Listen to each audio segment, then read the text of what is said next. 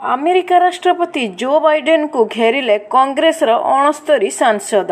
କାହିଁକି ନା ଆଫଗାନିସ୍ତାନ ସଂକଟର ମୁକାବିଲା କ୍ଷେତ୍ରରେ ଆମେରିକା ରାଷ୍ଟ୍ରପତି ଜୋ ବାଇଡେନ ନେଇଥିବା ନିଷ୍ପତ୍ତିକୁ ବିନାଶକାରୀ ବୋଲି ବିରୋଧୀ ରିପବ୍ଲିକାନ ସାଂସଦମାନେ କହିଛନ୍ତି। ବାଇଡେନଙ୍କୁ ତ୍ରୁଟିପୂର୍ଣ୍ଣ ନୀତି ପାଇଁ ତାଲିବାନ ହାତକୁ ସମ୍ପୂର୍ଣ୍ଣ ଆଫଗାନିସ୍ତାନର ନିୟନ୍ତ୍ରଣ ଚାଲିଗଲା। ଏଥିପାଇଁ ପୂରା ବିଶ୍ୱ ବିପଦଗ୍ରସ୍ତ ହୋଇଛି ବୋଲି ରିପବ୍ଲିକାନ ସାଂସଦମାନେ କହିଛନ୍ତି କାହିଁକି ନା ଆମେରିକା କଂଗ୍ରେସର ଅଣସ୍ତରୀ ସାଂସଦ ଏକ ପତ୍ର ଲେଖି ବାଇଡେନଙ୍କୁ ପନ୍ଦରଟି ପ୍ରଶ୍ନ ପଚାରିଛନ୍ତି ଏବଂ ଦେଶବାସୀଙ୍କ ସମ୍ମୁଖରେ ଏହାର ଉତ୍ତର ରଖିବାକୁ କହିଛନ୍ତି। ଆଫଗାନିସ୍ତାନରୁ ନାଗରିକଙ୍କୁ ଖାଲି କରିବା ଆଫଗାନିସ୍ତାନରେ ଆମେରିକା ନିର୍ମାଣ କରିଥିବା ସାମରିକ ଘାଟିଗୁଡ଼ିକର ଭବିଷ୍ୟତ ଅଲକାଏଦା ଓ ଆଇଏସ୍କେକୁ ନେଇ ଗୋଇନ୍ଦା ବିଭାଗର ବିଫଳତା ନେଇ ବିଭିନ୍ନ ପ୍ରଶ୍ନ କରାଯାଇଛି।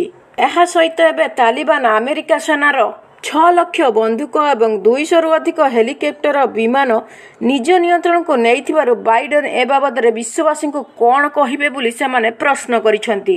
ତେଣୁ ଏସବୁ ପ୍ରଶ୍ନର କ'ଣ ଉତ୍ତର ଦେବେ ବାଇଡେନ? ସେଥିପାଇଁ ସାଂସଦ ଅଣସ୍ତରୀ କଂଗ୍ରେସର ଅଣସ୍ତରୀ ସାଂସଦ ଏକ ପତ୍ର ଲେଖି ବାଇଡେନଙ୍କୁ ପନ୍ଦରଟି ପ୍ରଶ୍ନ ପଚାରିଛନ୍ତି। ଦେଶବାସୀଙ୍କ ସମ୍ମୁଖରେ ଏହାର ଉତ୍ତର କ'ଣ ରଖିବେ ବାଇଡେନ? ନିଶ୍ଚିତ ଭାବରେ ଆମେ କହିପାରିବା ତାଲିବାନ ତାଲିବାନ ଆଫଗାନିସ୍ତାନର ଯେଉଁ ନିୟନ୍ତ୍ରଣ ହରାଇଛି ତାଲିବାନ ଟୋଟାଲି ଆଫଗାନିସ୍ତାନକୁ ନେଇଯାଇଛି କାହିଁକି ଆମେରିକା କଣ୍ଟ୍ରୋଲ କଲାନି ସେଥିପାଇଁ ବର୍ତ୍ତମାନ ଜୋ ବାଇଡେନ ଉପରଙ୍କୁ ସମ୍ପୂର୍ଣ୍ଣ ଭାବରେ ଆଙ୍ଗୁଠି ଉଠିଛି ଆମେରିକା ସେଥିପାଇଁ ସମ୍ପୂର୍ଣ୍ଣ ଭାବରେ ଦାୟୀ। ତ ଆପଣମାନଙ୍କର କ'ଣ ମତ ରହିଛି? ନିଶ୍ଚିତ ଭାବରେ ସତରେ କ'ଣ ଆମେରିକା ଦାୟୀ? ଆମେରିକା ଚାହିଁଥିଲେ କ'ଣ ଏମିତି ହୋଇନଥାନ୍ତା ନିୟନ୍ତ୍ରଣ ହୋଇଥାନ୍ତା? ଆଫଗାନିସ୍ତାନ ତାଲିବାନର ହୋଇନଥାନ୍ତା? ନିଶ୍ଚିତ ଭାବରେ ଆପଣମାନେ ହିଁ କମେଣ୍ଟ କରନ୍ତୁ ଡିସାଇଡ୍ କରନ୍ତୁ ଆଉ କମେଣ୍ଟ କରନ୍ତୁ। ରହୁଛି ନମସ୍କାର।